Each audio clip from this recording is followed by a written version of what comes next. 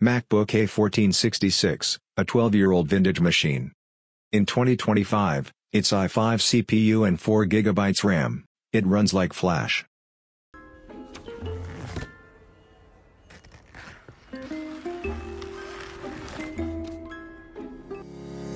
This time, we're upgrading the CPU to an i7 and the RAM to 16GB, turning it into a true flash. First, power off and remove the lowercase screws. Then take off the lower case. Gently disconnect the battery flex cable. Unscrew the cooling fan.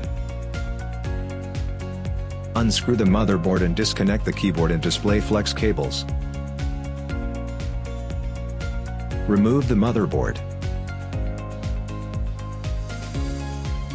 Since the CPU removal requires high heat, we'll remove the SSD and Wi-Fi module first to avoid damage. Then unscrew and remove the heatsink. Peel off the CPU insulation sticker. Clean off the old thermal paste. As we can see, the original CPU belongs to the SR26 series. The new CPU must match this series. Now, place the motherboard on the BGA heating station. Secure it in place. Select CPU and start heating. When the progress bar reaches 50%, use tweezers to remove the glue around the CPU.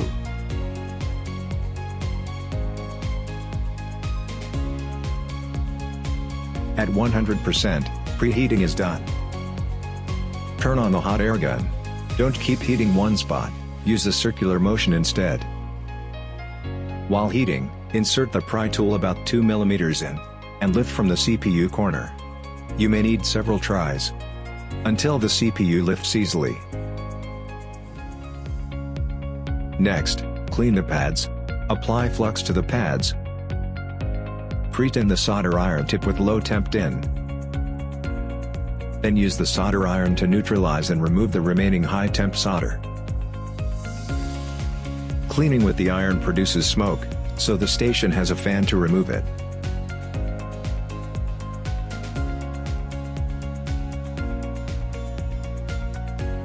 It also has a cross laser for alignment. Clean the pads thoroughly with a lint-free cloth. Apply flux again. And spread it evenly with a brush.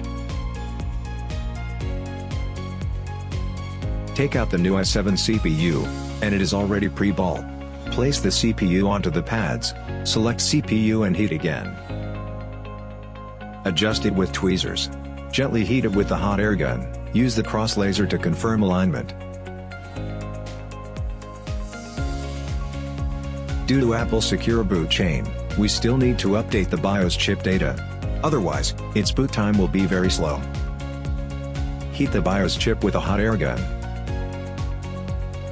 Remove the chip with tweezers, and place it into the programmer module. Close the lid and insert it into the programmer.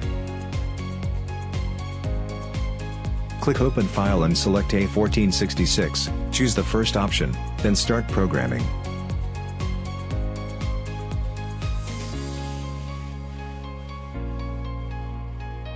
After programming, yank out the BIOS chip.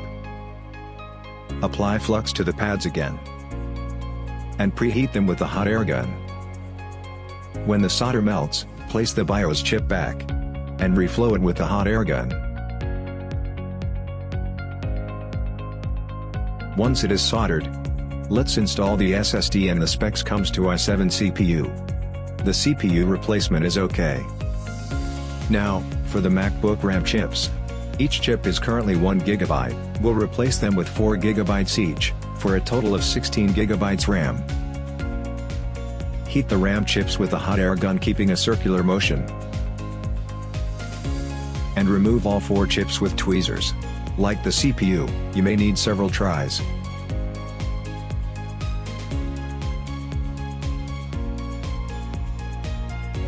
Of course, the pads need cleaning.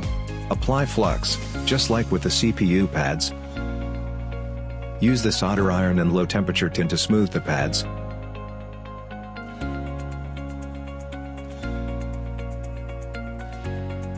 Clean the pads with lint-free cloth. Apply flux again and spread evenly with a brush. Then solder the four new RAM chips back in place. Gently touching them with tweezers during heating. Make sure they all are soldered firmly.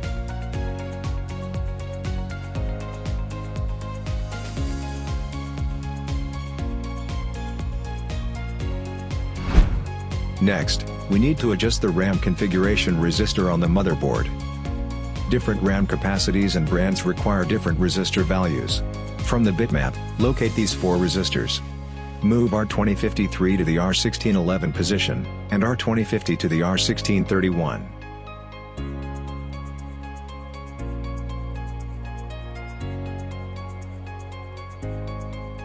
This allows the board to recognize 16GB RAM chips. Reapply thermal paste to the CPU. And reinstall the heatsink.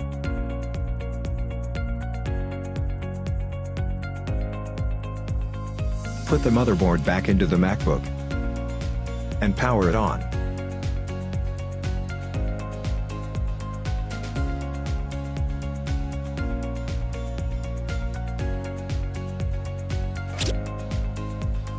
Confirm that the specs now read i7 CPU and 16GB RAM.